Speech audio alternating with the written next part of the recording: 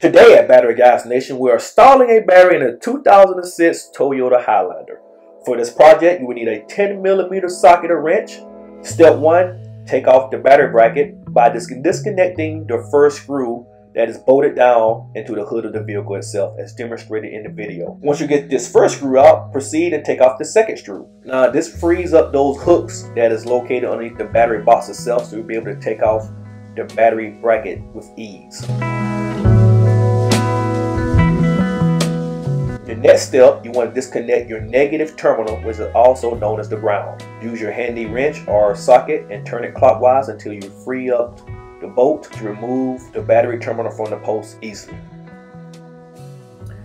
Proceed to your next step of doing the same exact thing to the positive terminal as well.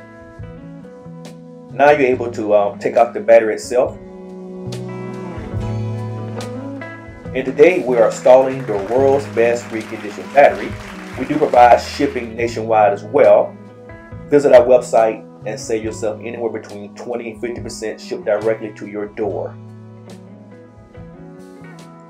What you want to do first, you want to disconnect, connect the um, positive terminal first, and then you want to connect the negative terminal lines, which is also known as the ground. Now you want to insert your um, battery bracket back onto the battery itself. Just make sure those hooks hook underneath the battery box itself. Now, easy way to do that is make sure that your um, your screws are all the way up to the top first before you even try to install it. And once you get that hook hooks underneath that box, just put those two screws back in, and this will complete your project. It's, it's kind of tricky, so you really want to take your time and try to get those hooks underneath the battery box itself. And a good trick I said to do that is make sure you got that screw all the way up to the top, and then it'll it'll lengthen up that J hook to uh, hook underneath the battery box itself.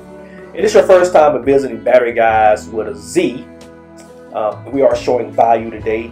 Please like the video, share the video as well. And also, too, think about subscribing to the video as well, becoming a subscriber with Battery Guyz with a Z because we are uploading daily videos of different makes of models, how we install cars, golf carts, etc. Uh, we're also going to show you some of our trade secrets, exactly how we recondition the batteries itself, and what we do here at Battery Guyz by protecting the environment and uh, shipping out batteries nationwide in all categories. If you have any suggestions to add to the channel as well, leave a comment below and give us some, some suggestions as well. It's kind of tricky with this um, these types of brackets, it, it, seems like a lot of Toyotas and especially Nissans as well, they make these brackets with the hooks, have to hook underneath the battery box itself. So you just have to take your time and exactly know what you're doing to get it done. Once you get that done, you go ahead and install those um, bolts back and that definitely will um, tighten up the hook itself.